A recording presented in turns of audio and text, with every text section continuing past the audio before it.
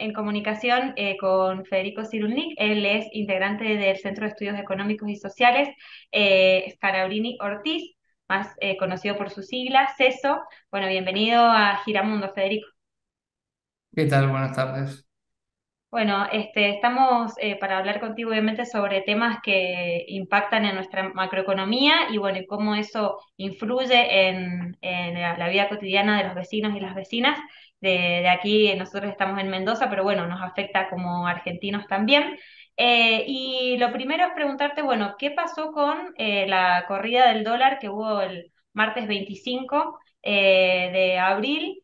¿cuáles son las consecuencias que nos puede traer? esta, esta suba del dólar, como te decía antes, enfocado ¿no? en, en el bolsillo de- del vecino, de la vecina, que a veces he escuchado en algunos testimonios por ahí en, que han hecho este, algunas, eh, algunos medios privados de aquí de Mendoza, que salen a la calle a consultar y la gente eh, se refiere al dólar en, en tanto y en cuanto si compra, si tiene la capacidad de comprar dólares o de ahorrar en dólares o no. Y mm, pareciera que esa es la única, eh, el único, la única arista que encuentran algunas personas en cuanto al dólar, pero en realidad, este, aunque compremos, nos interese comprar, tengamos la posibilidad o no, ¿en qué nos afecta eh, que suba tanto el dólar y tan abruptamente? Bien. En primer lugar, hay que tener en cuenta que una gran cantidad de bienes y servicios que nosotros consumimos, ¿no? Eh, se ven influenciados, o su precio se ve eh, determinado en parte por el tipo de cambio oficial, en principio, ¿no? Tanto los bienes importados, que son muchos bienes y servicios importados, los bienes de producción local que contienen o conllevan insumos importados, ¿no? y en gran medida los precios de los alimentos, ¿no? que son derivados de commodities, que son bienes que sus precios se determinan en el mercado internacional.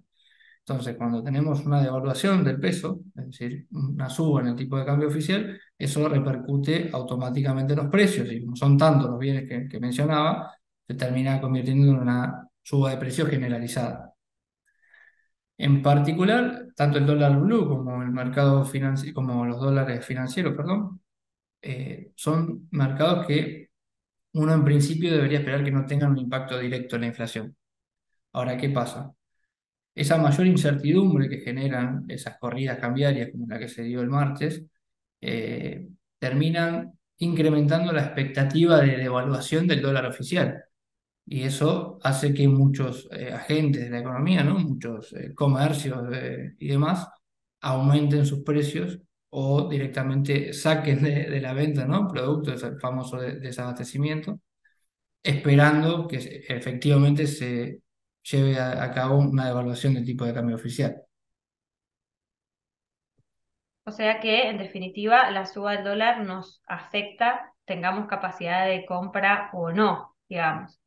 Eh, sí, sin duda, sí. así E- es. Es una de las principales variables que termina impactando en en la formación de precios. Bien, y bueno, y cuando se dice que las grandes empresas son las formadoras de precio, ¿qué tanto hay de cierto en esta frase y cuál es la responsabilidad también del gobierno eh, nacional en controlar eh, la inflación? Bien, ahí creo que muchas veces hay una confusión entre lo que los economistas llamamos niveles, ¿no? Es decir, si un precio es muy alto o muy bajo, y las variaciones diarias, que no son otra cosa que la inflación. Eh, es posible que los formadores de precios contribuyan a que los precios sean muy altos, es decir, tener un nivel de precios muy elevado. Ahora, creo que las características que hacen que nuestra economía esté atravesando un proceso inflacionario muy elevado. Es decir, tenemos inflación mensual muy alta, eh, no obedecen a, a estos formadores de precios, ¿no? Creo que eh, las condiciones macroeconómicas y lo que nosotros desde CESO decimos los elementos inerciales de la inflación son los que vienen acelerando los precios. Para bajarlo a tierra, digo, ¿qué son los factores inerciales de la inflación?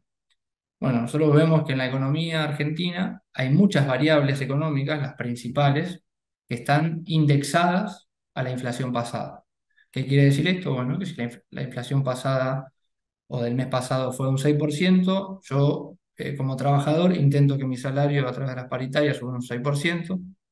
Si la inflación fue un 6%, el tipo de cambio se devalúa un 6%. Los contratos de alquiler, por ejemplo, ¿no? Están indexados también a la inflación pasada. Entonces se va armando una inercia, ¿no? inflacionaria que termina repercutiendo en la inflación futura. Bien. Bueno, y mm, por otro lado, eh, preguntarte, este, ¿cuál, cuál es la inflación que eh, están proyectando ustedes desde CESO para este mes de abril? Nosotros desde CESO eh, hacemos un relevamiento de precios, eh, básicamente de alimentos y algunos productos más, en supermercados. Las primeras semanas de abril eh, venía, veníamos viendo una desaceleración de precios respecto a lo que fue marzo, pero en la última semana de abril, posiblemente producto de lo que hablábamos recién, ¿no? de esta corrida cambiaria y de esta disparada de los dólares financieros y el blue, eh, vimos nuevamente una aceleración de precios. La inflación de la última semana de abril fue del 2%, solo de la última semana. Con lo cual, si bien a, principio de mes parecería o, pensábamos que la inflación podía desacelerarse un poco y cerrar más cercana al 6, 6,5%, con el impacto de esta última semana posiblemente volvamos a tener una inflación que esté por arriba del 7,5%.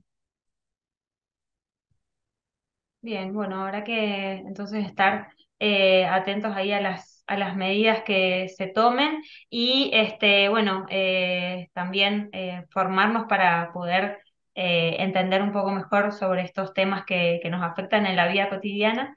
Y así que te agradecemos muchísimo por compartir este, estos datos desde el CESO y bueno, este, estamos entonces en contacto para, para seguir eh, analizando que también este año es un año especial porque es un año electoral y lo que pasa en la economía también afecta en la política. Sí, sin duda que sí. Son dos esferas que se retroalimentan constantemente.